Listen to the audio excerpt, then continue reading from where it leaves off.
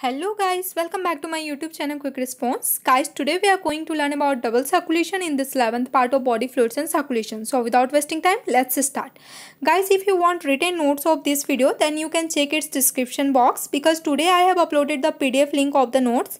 Uh, uh, but before going to the notes, you must watch the video, then only you will be able to know what is actually written in the notes. सो चलो start करते हैं। देखो, ये double circulation का pathway है और मैं उसी को डिस्कस कर रही हूँ। उसके बाद आपको पता चल जाएगा कि डबल सर्कुलेशन क्यों होता है और कैसे होता है, ठीक है? सो देखो लंग से ऑक्सीजनेटेड ब्लड आएगा, उसके बाद कहाँ जाएगा? पर्मनरी वेंस के पास। पर्मनरी वेंस ओपन्स होता है लेफ़्ट ऑट्रियम में। देखो, ये ऑक्सीजनेटेड ब्लड ही चल रहा है अभी ओके जब तक मैं डीऑक्सीजनेटेड ना बोलूँ, और लिखा हुआ भी है। नाउ लेफ़्ट ऑट्रियम में आएगा। लेफ़्ट ऑट्रियम ओपन्स होता है लेफ़्ट वेंट्रिकल में थ्रू द बाइकस्पिड वर्ल्व ठीक है? मैं इसे अंडरलाइन देखो अंडरलाइन चार वाल्व्स को क्यों? क्योंकि वाल्व्स तो इंटरनली है, ठीक है? ये तो होगा ही okay now bicuspid valve के थ्रू आता है लेफ़्ट वेंट्रिकल में एंड लेफ़्ट वेंट्रिकल से left ventricle opens into the aorta through the semi lunar valve okay now aorta opens into the यहाँ पर देखो डोरसल एओटा है, ठीक है?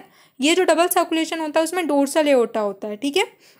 Now aorta opens into the arteries and arteries open into the arterioles ठीक है? तो आप कह सकते हो कि सबसे बिगेस्ट आर्टरी कौन सा है? एओटा है, और सबसे स्मॉलेस्ट आर्टरी कौन सा हुआ? एट्रोल्स हुआ, ठीक है? तो ये आ गया ऑक्सीजनेटेड ब्लड नाउ आर्ट्रियोल्स जो है वो ओपन्स होता है कैपिलरीज में, ठीक है? देखो कैपिलरी सबसे स्मॉलेस्ट ब्लड वेशल्स होता है, ठीक है? नाउ कैपिलरी से ऑक्सीजनेटेड ब्लड जाएगा टिश्यूज में, अब टिश्यू में क्या हो जाएगा? वो डीऑक्सीजनेटेड हो जाएगा। नाउ डीऑक्सीजनेटेड ब्लड होने के बाद वो जाता है वेन्यूल्स में। ये वेंस का सबसे छोटा पार्ट है मतलब स्मॉलेस्ट है वेंस में वेन्यूल्स ना उससे बड़ा होता है वेंस तो वो वेंस के पास जाएगा और सबसे बड़ा वेंस होता है वेना कावा, ठीक है? ग्रेड वेन इसको कहते हैं, ठीक है? तो वेना कावा, और वेना कावा दो टाइप का होता है सुपीरियर और इन्फीरियर ओके नाउ सुपीरियर में ब्लड ऊपर से आते हैं, जो ब्रेन से हमारे आते हैं डीऑक्सीनेटेड ब्लड वो होते हैं, और इन्फीरियर में बॉडी के नीचे पार्ट से लोअर पार्ट से जो जाते हैं, वो इन्फीरियर वेने कावा में जाते हैं, ठीक है? नाउ इन्फीरियर देखो वेना कावा के बाद जाता है राइट ऑट्रियम में राइट ऑट्रियम के बाद जाएगा राइट वेंट्रिकल में through the opening of tricuspid bulb ठीक है? राइट वेंट्रिकल से जाता है पल्मनरी आर्टरी में through the opening of semi lunar valves ठीक है? नाउ पल्मनरी आर्टरी में यहाँ तक सारा डीऑक्सीजनेटेड ब्लड है, यहाँ लिखा हुआ भी है। नाउ डीऑक्सीजनेटेड ब्लड जब ओपन होगा लंग्स में, ठीक है? सॉरी डीऑक्सीजनेटेड ब्लड जो पल्मनरी आर्टरी से पल्मनरी आर्टरी ओपन होगा लंग्स में तो ठीक है, अब लंग्स में क्या होगा? फिर से वही साइकिल चलेगा ऑक्सीजनेटेड हो जाएगा क्योंकि यहाँ एक्सचेंज ऑफ़ गैसेस होता है, फिर वही साइकिल चलेगा, ठीक है? नाउ इसमें दो सर्कुलेशन होता है, अब देखो राइट वेंट्रिकल से लेकर लेफ़्ट ऑट्रियम तक को कहते हैं पल्मनरी सर्कुलेशन ठीक है? मतलब राइट वेंट्रिकल से लेफ़्ट वेंट्रिकल तक में जितनी भी चीज़ें आई, वो सारे पल्मनरी सर्कुलेशन में आ जाते हैं। पल्मनरी क्यों? क्योंकि लंग्स के आसपास हैं लंग्स के पास हैं, और pulmonary is related with the lungs you know ना उसके बाद जो होता है लेफ़्ट वेंट्रिकल से लेकर राइट ऑट्रियम तक, ठीक है? उसका था वहाँ पर पबनरी में लेफ़्ट ऑट्रियम था, ठीक है? लेकिन यहाँ पर राइट ऑट्रियम ठीक है? तो यहाँ पर राइट ऑट्रियम और वहाँ पर था राइट वेंट्रिकल यहाँ लेफ़्ट वेंट्रिकल से स्टार्ट है। तो लेफ़्ट वेंट्रिकल से लेकर राइट ऑट्रियम तक जो भी चीज़ें आई like aorta arteries arterioles capillaries tissue venules veins vena cava ये सारे आ जाएँगे सिस्टेमिक सर्कुलेशन में ठीक है? सिस्टेमिक इसलिए क्योंकि ये बॉडी पार्ट्स में जा रहा है बॉडी सिस्टम में जा रहा है और पबनरी इसलिए क्योंकि वो लंग्स से रिलेटेड है ठीक है? सो so, इसमें दो टाइप का सर्कुलेशन हो रहा है आपको भी दिख रहा है। और ये याद रखना कि कहाँ से कहाँ तक को पल्मनरी सर्कुलेशन कहते हैं ठीक है? और कहाँ से कहाँ तक को आ, ये सिस्टेमिक सर्कुलेशन कहते हैं ये इंपॉर्टेंट है। क्योंकि इसमें दो टाइप्स का सर्कुलेशन हो रहा है पल्मनरी और systemic so it is called double circulation okay NCERT में लाइन लिखी हुई है the deoxygenated blood pumped into the pulmonary artery is passed on to the lungs okay? From where oxygenated blood is carried uh, by pulmonary veins into the left and this pathway is known as pulmonary circulation okay so right ventricle से लेकर left atrium तक क्या होता है? पर्मनरी circulation अब इतने बीच में जो भी चीज़ें आई लाइक पर्मनरी आर्टरी आ गए पर्मनरी वेन्स आ गए लंग्स आ गए तो ये सारे पर्मनरी सर्कुलेशन में आ जाएँगे, ठीक है? एनसीईआरटी की ये लाइन देख लो, ये आप हमेशा से जानते हो। Now systemic circulation provides nutrients oxygen and other essential substances to the tissue ठीक है? Essential substances to the tissue तो ये टिश्यू को क्या क्या प्रोवाइड करता है? न्यूट्रिएंट ऑक्सीजन और इसेंशियल सब्सटेंसेस ले जाता है और टिश्यू से क्या लाता है? Takes carbon dioxide and other harmful substances away for elimination ठीक है? नाउ ये बुक का डायग्राम है एनसीईआरटी का देख लो। देखो लंग्स है, फिर पमनरी वेन फिर left atrium left ventricle dorsal aorta ये आर्टरी हो गया, ये हो गया बॉडी पार्ट्स मतलब कैपिलरी और बॉडी पार्ट्स उसके बाद वेन्स हो गया वेना कावा हुआ ग्रेट वेन जिसे कहते हैं, और ये डोर्सल एओटा देख लो, मैंने बोला था कि डबल सर्कुलेशन में डोर्सल एओटा होता है। ना उसके बाद राइट ऑट्रम राइट वेंट्रिकल उसके बाद पमनरी आर्टरी से लंग्स में गया तो ठीक है, अब देखो यहाँ पर मैं ब्लड वेसल्स के बारे में आज डिस्कस नहीं कर रही हूँ मतलब आर्टरी वेन और कैपिलरीज की डिटेल में नहीं जा रही हूँ उससे मैं नेक्स्ट वीडियो में करूँगी ओके सो अब देखते हैं पोर्टल सिस्टम ठीक है? अब बुक में एक लाइन में लिख दिया है हिपैटिक पोर्टल सिस्टम लेकिन हिपैटिक पोर्टल सिस्टम जानने से पहले हमें जानना होगा पोर्टल सिस्टम क्योंकि it is the part of portal system ठीक है? सो पोर्टल सिस्टम होता क्या है बेसिकली देखो when the vein of an any organ doesn't open in the vena cava और heart but it divides into the capillaries in any other organ and its blood is transported by vein of that other organs to the heart this system is portal system समझ आया? नहीं आया ना, कोई बात नहीं, अभी मैं समझाती हूँ। क्या होता है, ये ऑर्गेन है, ठीक है? इसे क्या करना चाहिए था, अपना वेंस को डायरेक्ट सिस्टेमिक सर्कुलेशन में ले जाना चाहिए था, ठीक है?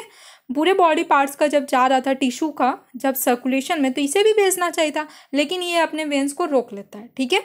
और ये क्या करता है, इसका जो वेन है, ये जाता है दूसरे ऑर्गेन के पास, और वो दूसरा ऑर्गन कौन है? ठीक है, अभी पोर्टल सिस्टम बहुत सारे आएँगे। तो ये दूसरे ऑर्गन के पास जाता है और यहाँ पर ये डिवाइड हो जाता है कैपिलरीज में इसका वेन ठीक है? अब क्या होता है? इसका ब्लड और ये इसका ब्लड दोनों का मिलकर क्या करता है? ये इसके वेन से जाता है सिस्टेमिक सर्कुलेशन मतलब ये अपने वेन को सिस्टेमिक सर्कुलेशन में नहीं भेजता है, ये दूसरे पास जाता है, पहले वहाँ कैपिलरीज में डिवाइड होता है, फिर वहाँ पर इसका ब्लड जाता है इस इस वाले ऑर्गन के वेन्स के थ्रू सिस्टेमिक सर्कुलेशन में। मतलब ये इनडायरेक्टली जाता है सिस्टेमिक सर्कुलेशन में ओके सो मैं एक एग्ज़ाम्पल बताती हूँ इट्स अ फनी बट मेरे घर में ऐसा होता है। हम और मेरे भाई एक ही घर में रहते हैं ऑब्वियसली बट रूम अलग है, ठीक है? तो जब मेरा कुछ नेट का प्रॉब्लम होता है तो मैं उसे बोलती हूँ कि, भाई प्लीज़ नेट ऑन कर दे, मैं चिल्लाकर बोल देती हूँ, ठीक है? अब उसके मन में अगर आएगा तो वो स्टार्ट करेगा, नहीं तो नहीं करेगा। अगर मैं, हो सकता है तो जाकर बोलती तो क्या होता है, मैं यहाँ से आवाज़ दे देती हूँ। तो उसी तरह ये वेन जो है, यहाँ से आवाज़ दे दिया, ठीक है? अब इसका मन किया तो ये क्या होगा? अपने ब्रांचेस मतलब मेरा भाई सोचता है कि हाँ करूँ या नहीं, ये मेरा नेट खर्च कर देती है पूरे तो वो ठीक है, वो हॉटस्पॉट ऑन करेगा। और अगर नहीं करना चाहेगा तो नहीं करेगा बट कर देता है, ठीक है? तो ये ये देखो, अब ये ओपन करेगा। अब ये ओपन करेगा तो इसका जो फिर मैं वाईफाई स्टार्ट करूँगी और फिर क्या होगा? इसका नेट मुझे वर्क करने लगेगा। तो इस तरह से मेरा अपना तो वर्क करने लगा। मतलब इसे सिस्टेमिक मुझे अपना वर्क करना था तो करने लगा। मतलब इसे सिस्टेमिक सर्कुलेशन में कैसे भी जाना था तो जाएगा ही बट वो इंडायरेक्टली जाएगा। ठीक है? तो मेरा भाई की वजह से मेरा नेटवर्क वर्क कर रहा है। ठीक है? मेरा अपना नेटवर्क नहीं कर रहा है। मैं भाई को बोली, भाई ओपन किया। तब मेरा नेटवर्क कर रहा है। मतलब मेरा इनडायरेक्टली नेटवर्क तो कर ही रहा है। ठीक है? तो हो सकता था तो मैं चाह कर आगे बोलती, भाई प्लीज़ नेट ऑन कर दे, थोड़ा सा मनाना पड़ता, मैं चिल्ला के बोल देती हूँ। जस्ट ये भी वैसे ही है कि अपने वेन को भेज देता है ये भी मेरी तरह लेज़ी है, ठीक है? अपना काम खुद नहीं करता, अपने वेन को डायरेक्ट सिस्टेमिक सर्कुलेशन में नहीं भेजता, बल्कि दूसरे से काम करवाता है, ठीक है? तो मैं भी उसी तरह लेजी हूँ।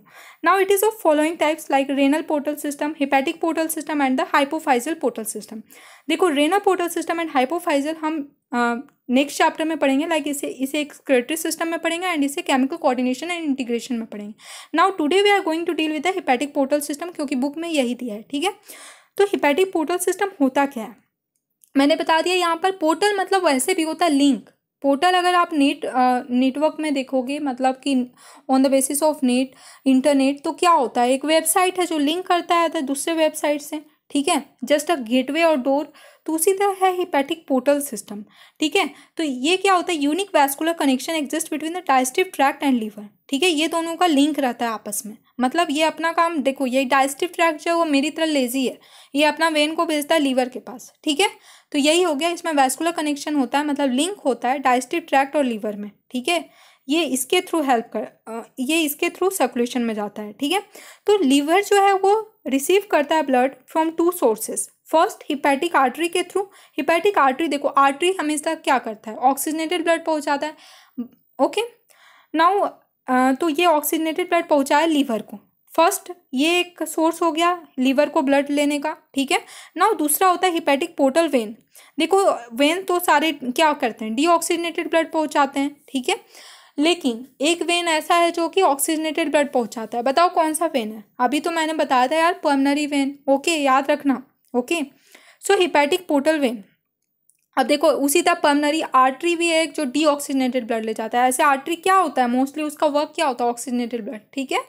सो so, यहाँ पर हिपैटिक पोर्टल वेन देखते हैं। इसमें क्या होता है? डाइजेस्टिव ऑर्गेन्स मैंने बताया डाइजेस्टिव ट्रैक्ट और लीवर के बीच में लिंक है। तो डाइजेस्टिव ऑर्गेन लाइक इंटेस्टाइन क्या है ये? डाइजेस्टिव ट्रैक्ट का पार्ट है।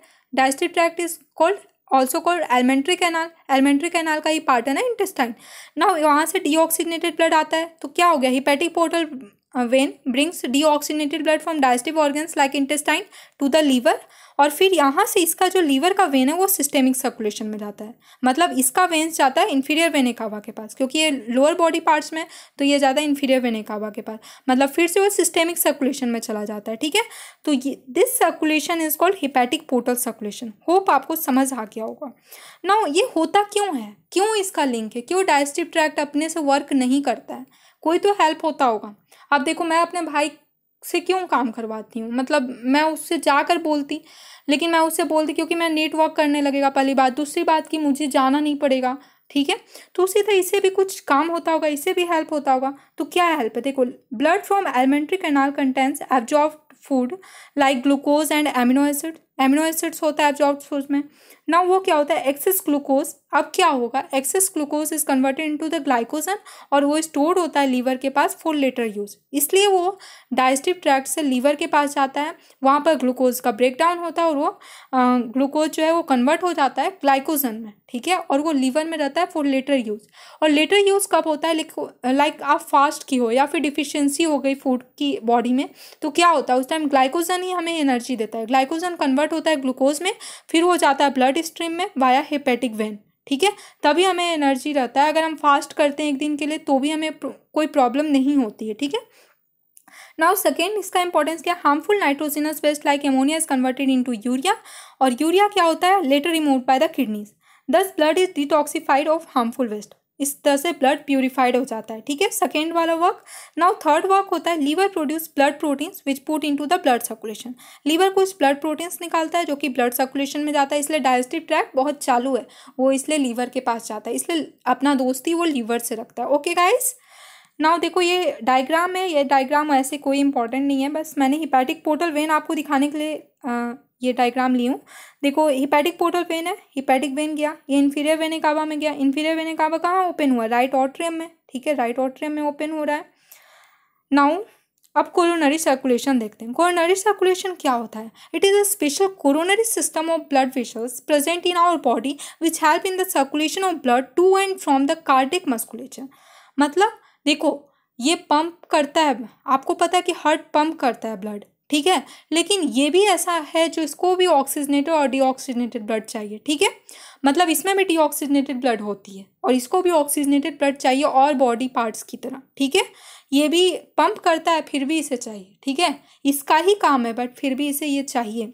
Now it is the for the circulation of blood to and from the cardiac musculature ठीक है? मतलब आगे ऑक्सीजनेटेड ब्लड पहुंचाना और फिर उसका डीऑक्सीजनेटेड ब्लड ले जाना। ये है कोरोनरी सर्कुलेशन देखो, इसका स्टार्टिंग कैसे होता है और ये कैसे चलता है? एसेंडिंग एओटा के थ्रू ठीक है? वहाँ पर हम लोगों ने डोर्सल एओटा पढ़ा। ना असेंडिंग एओटा ऑक्सीजनेटेड ब्लड लाता है, फिर कहाँ? एओटा के बाद कहाँ जाता था? आर्टरी में। तो इसी तरह ये राइट कोरोनरी आर्टरी और लेफ़्ट कोरोनरी आर्टरी में जाता है। देखो कोरोनरी मतलब होता है कार्डियक ठीक है? तो मतलब हार्ट से रिलेटेड। ओके कार्डिक क्या है? कार्डिक मसल हार्ट में होता है ना? ठीक है। नाउ राइट कॉर्नरी आर्टरी और लेफ़्ट कॉर्नरी आर्टरी दोनों में जाता है ठीक है? नाउ राइट कॉर्नरी आर्टरी जो है इसमें डिवाइड होता है कुछ ब्रांचेस में और वो ब्रांचेस है posterior interventricular branch marginal branch and auricular branch. इसको याद कैसे रख पाओगे तो आ, एक गवर्नमेंट एग्ज़ाम्स में कोई भी गवर्नमेंट एग्ज़ाम्स में एक पीआईबी वेबसाइट होती है जो हमें पढ़ना पड़ता है ठीक है? गवर्नमेंट की वेबसाइट है पीआईबी तो वो पीआईबी हमें पढ़ना होता है तो पीआईबी माँ। अब देखो, आपने यूट्यूब में पीआईबी देख रहे हो, वीडियो देख रहे हो पीआईबी की वीडियो भी है। तो आप वो देख रहे हो it is a government site आप देख रहे हो और उसके, आपकी मम्मा इंटर कर गई तो आपकी मम्मा पूछी, क्या देख रहे हो? ठीक है यूट्यूब में। तो बोलो पी आई बी माँ। ठीक है मतलब पी आई बी देख रहा हूँ माँ। तो पी आई बी मीन्स हो गया पोस्टेरियर इंटरवेंट्रिकुलर ब्रांच माँ मीन्स हो गया मार्जिनल एंड ओ मीन्स हो गया माँ मतलब ऑरिकुलर ब्रांच ठीक है? उसी तरह left coronary artery subdivides into branches like auricular branch यहीं से ऑरिकुलर आ गया। नाउ एंटीरियर इंटरवेंट्रिकुलर ब्रांच यहाँ पोस्टेरियर था तो यहाँ इंटेरियर हो गया एंटीरियर हो गया। नाउ यहाँ पर एक डिफरेंट है सरकमफ्लेक्स जैसे यहाँ पर मार्जिनल है, वैसे यहाँ सरकमफ्लेक्स है। अब आपको याद हो जाएगा होप नाउ उसके बाद क्या होता है? आर्टरी के बाद ऑक्सीजनेटेड ब्लड कहाँ जाएगा? देखो यहाँ पर कैपिलरीज नहीं, यहाँ पर डायरेक्ट जाता है हार्ट मसल और हार्ट वॉल्स में। ठीक है कार्डिक मसल और हार्ट वॉल्स में। नाउ ये समझ लो यहाँ पर टिश्यू है, ठीक है? ये टिश्यू है। ना ऑक्सीजनेटेड ब्लड गया टिश्यू के पास हार्ट मसल और हार्ट वॉल्स के पास। ना वहाँ पर क्या होता है टिश्यू में? डीऑक्सीजनेटेड हो जाता है ब्लड तो डीऑक्सीजनेटेड हो गया। उसके बाद कहाँ जाता था? वेंस के पास जाता था। तो उसी तरह यहाँ पर कोरोनरी वेंस है कार्डियक वेंस ठीक है? कार्डियक वेंस नाउ यह बहुत सारे वेंस होते हैं तो ये ज्वाइन होकर बनाते हैं कोरोनरी साइनस तो मतलब क्या हुआ? डीऑक्सीनेटेड ब्लड गया कोरोनरी साइनस के पास।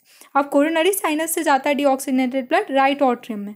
राइट ऑट्रियम में ही तो जाता था डीऑक्सीजनेटेड ब्लड ओके सो इसी तरह ये वाला इसका पाथवे है।